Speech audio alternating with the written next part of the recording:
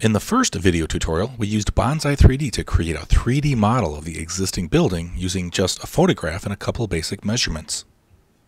Now that we have a good starting point, let's begin conceptualizing our new design changes. We turned off a few layers and will apply a white material for clarity. Let's add a couple additions to the back. Using the offset segment tool, we'll offset and insert a couple segments in uh, about 3 feet. And then using the reshape tool, we can reshape that new face out and we'll go about 28 feet with that space. Let's use the offset segment tool again and we'll offset a segment about 15 feet across. And then using the reshape tool again, I can reshape that new face outward and we'll pull that out maybe 25 feet. So there's some new spaces for us. Now to convert those into walls, what I could do is use the offset outline tool and offset an outline about 6 inches and then use the reshape tool and reshape that through to subtract that part of the, of the material. Now, of course, we could have just drawn the walls directly if we wanted also, besides doing massing. Let's add a roof. Select the roof tool, click on the top face of the object, and since we're using the same parameters as before, the roof in the front is the same as the original roof. And the transition from the new additions are automatically resolved for us in the new roof. Now let's say we would like to add a dormer to the front of the building here. A couple different ways we can do that. One method would be to have some predefined dormers that are already constructed and saved for us in our content libraries, and we can just place them into our scene. In this example, we'll actually build one from scratch. We'll begin by drawing a 2D rectangle on the slope of the roof. Select the rectangle tool, 2D icon, and make sure the insert option is turned off so it generates it as a separate object. And there's our 2D rectangle about 6 inches wide. And then what we'll do is use the extrusion tool and make sure you choose the perpendicular to reference plane option so that we can extrude the rectangle straight up instead of perpendicular to the face. And there's our solid wall. Let's insert some windows. Use the place window tool. We have a custom window that we've already created and we can simply place that into the wall. Now let's reshape the wall to the size that we want. Using the reshape tool, I'll reshape the face and snap it to the frame of the window and then reshape it again out 6 inches. Let's do the same on the other side. Snap it to the frame and then reshape it again out 6 inches. I need to make the top of the wall flat, so I'll use the 2D rectangle tool and make sure we choose the 3D extrude icon with the insert option turned on so I can draw the rectangle on the side face and push it through to subtract that portion to make the top flat. And I'll reshape that down, snapping to the frame so it's flush with the top of the windows. Now I need to create the walls extending back into the roof, so I'll use the offset segment tool and offset a segment on the left over 6 inches and offset this segment over 6 inches. Then using the reshape tool, I can select that new reshaped face and reshape that into the roof. And now notice I'm snapping to the point of the roof so that it goes all the way through. And you can see in wireframe that it's extending through that solid roof. Let's put a roof on the dormer by first defining the boundary of the roof. Do a 2D rectangle without the insert option. So it's a separate 2D rectangle that we create by snapping to the corners. And then using the roof tool, I click on the face. And the roof is generated. And of course, I'll have to set the parameters to the type of roof that I want. We can add more details using pretty much the same tools we've been using earlier. For example, the offset segment. Let's offset a segment 6 inches. And then use the reshape and reshape the face in 6 inches. Offset segment again on the side. Let's go in about 1 foot on the left and insert a segment over one foot on the right hand side. And then we'll reshape that face inward and type in 4 return and we can go in 4 inches. Put a little trim molding on the sides. We'll create that as a separate object so we'll use the rectangle tool 3D extrude icon and of course the insert option is now off so it's generated as a separate piece of molding.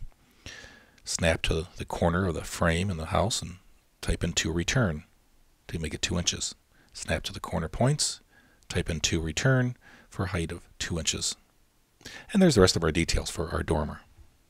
The last thing we need to do is trim the back of the dormer so it matches the slope of the roof. In wireframe, you can see that it still extends into the solid roof. First thing we'll do is pick the main roof and copy it to the Bonzai 3D clipboard by hitting Command C on Mac or Control C on Windows. Then we'll choose the Boolean Difference tool. Select the roof of the dormer first, and then select the main roof, and the main roof is then subtracted from the dormer roof. Let's try this again. Paste the main roof back in. Select the Boolean difference tool again. click on the walls, and then click on the main roof. And now that volume is subtracted from the walls. There's a little nodule left over where the roof must have gone through to the other side of the roof, so we'll just delete that. Paste the main roof back in, and now our dormer matches the slope of the roof. Let's apply some new materials to our new objects. Drag and drop the roof onto the main roof, and drag and drop the siding to the walls. Now we need to apply different materials to different faces of the roof object. So hold down the Command on Mac or the Control on Windows and you can drag and drop the material onto just a single face of that object. So the roof material goes just on those faces and the siding material will go just onto the front face only. And as we saw earlier, if we need to readjust the automatic mapping, we can use the Map Texture tool, click on the object, and it will automatically readjust the mapping system for us. Let's make a copy of the dormer for the other side. Select the Pick tool and window pick all the objects. Select the Move tool with the copy icon selected. Click and drag and I can snap to the automatic red guideline to maintain alignment across the x-axis. How about a new front porch roof? We'll select the Move tool with the copy icon selected. Hit the Command on Mac or Control on Windows and I can make a copy of the top face from the porch. Let's give that a white color. Drag and drop the white server style onto it. And I'll go into wireframe and what I'm going to do is move just a single segment of the back of that rectangle that I have. Make sure you have the self icon picked. Hold the Command on Mac or Control on Windows to select just that segment and drag it so it extends further into the house. Then we'll select our roof tool, click on that rectangle, and there's our roof. Let's add a, a little more detail just like we did before, offset segments to give it some trim around the outside, reshape the center face. And if we want to get rid of some of those additional extra segments that are in there, we can use the Unmesh tool to get rid of those extra edges that are there.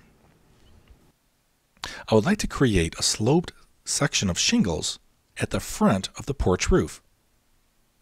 We'll begin by selecting the Vector Line Drawing tool, 2D Surface icon, and make sure the Insert option is turned off. Let's go to our grid snap options and hover the mouse over the grid snap icons and we can change the snap interval from 2, change it to 3. Now we can snap to the end point of the roof and then we can snap because our interval is set to 3, one third of the way up along the inside face. Snap at those locations and now we've created a sloped flat plane in the front of our porch roof. And just as we did before, we'll hold down the Command on Mac or the Control on Windows, and we'll drag and drop different materials onto different faces of our front porch roof. In wireframe view, you'll see that our front porch roof still extends inside the main roof. So just like we did with the dormers, we'll have to Boolean difference the front porch to match the slope of the main roof. So we click on the front porch roof, then click on the main roof, and the main roof is then subtracted or differenced out from the main front porch roof. Now everything matches perfectly. The last modeling operation we'll look at is the ornate detail of the new columns. We do this by drawing a 2D profile and using the Revolve tool to revolve that 2D line around any vector line axis to create a solid object such as we see here for our new columns. Our modeling is now complete. We'll finish up with some new landscaping as we described earlier. And now we have a good vision of the transformation of our ugly duckling into a beautiful residence. Thanks to VisionSell and Bonzai 3D.